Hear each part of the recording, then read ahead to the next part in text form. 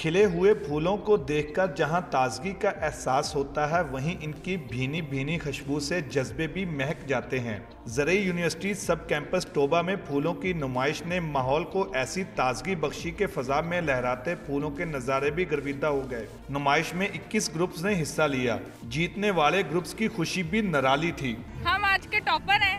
First آئے ہیں ہم اپنی ٹیم کے ساتھ۔ ڈی گراؤنڈ میں. ویسے بھی اوور آل فرسٹ ہیں. ہم اس میں ہمارا گراؤنڈ ہماری طرح خوبصورت لگ رہا ہے۔ بالکل۔ نمائش میں آنے والا ہر شخص ان رنگین اور خوبصورت پھولوں کو دیکھتے ہی ان کے سحر میں کھو جاتا اور ان حسین مناظر کا نظارہ کرنے والوں کا بھی تانتا بندہ رہا۔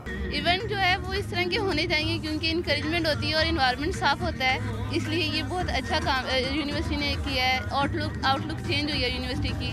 وائس چانسلر کہتے ہیں کہ اس موسم میں پھولوں کی نمائش کے ذریعے اداسیوں سے محروم چہرے اس کی مہک سے کھل اٹھتے ہیں۔ اور اس موقع پر وائس چانسلر نے جیتنے والی ٹیم کو انعامی رقم سے بھی نوازا۔ گلا کیا ہے کہ ماں بچوں سے پیار نہیں کرتی ہیں؟ کوئی ایسی ماں نہیں اپنے جو بچوں سے پیار نہیں کرتی۔ مائیں ہمیشہ پیار کرتی ہیں اور بے لوس پیار کرتی ہیں۔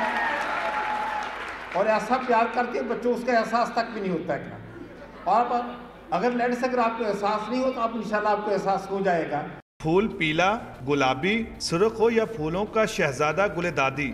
ہر ایک پھول اس نمائش میں رکھا گیا۔ پھول قدرت کا حسین تحفہ ہے اور انسانی ہاتھوں نے جب اس کو مل کر بنایا تو یوں محسوس ہوا کہ میرے شہر میں موسم بہار آیا ہے۔ کیمرہ مین محمد وسیم کے ہمراہ Shahid Mehmood city forty one Toba Tek Singh.